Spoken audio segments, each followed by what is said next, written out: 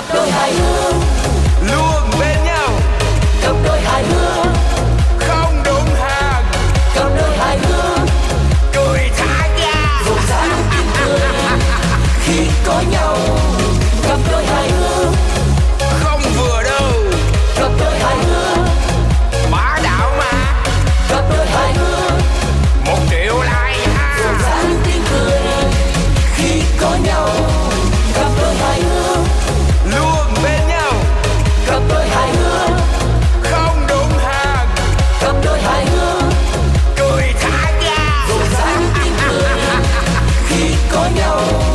Cặp đôi hài hước Không vừa đâu.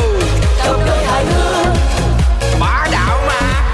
Cặp đôi hài hước Một triệu like ha. Rộn rã những tiếng cười.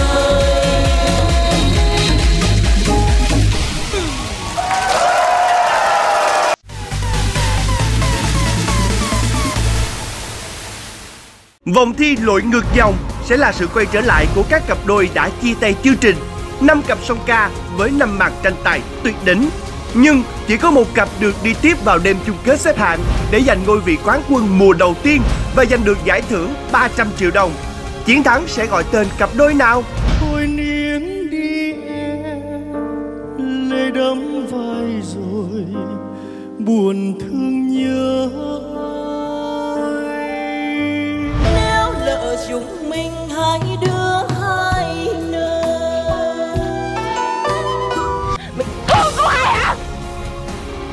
hồi nãy công nhận á tác ở trển mà đây tôi đau á thì tôi không ngờ tác thiệt như thế. Bình còi. bình bình còi đi dễ thương hơn. Bình còi. Phúc nhỏ bé. Tôi cho điểm ngay bây giờ luôn.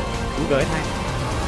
Điểm 10 Đón xem tập 9 chương trình tuyệt đỉnh song ca phiên bản cặp đôi vàng vòng lội ngược dòng được phát sóng vào lúc 21 giờ thứ hai ngày 16 tháng 1 năm 2017 trên kênh truyền hình Vĩnh Long 1 và phát lại vào lúc 11 giờ 45 thứ ba ngày 17 tháng 1 năm 2017 trên kênh truyền hình Vĩnh Long 2.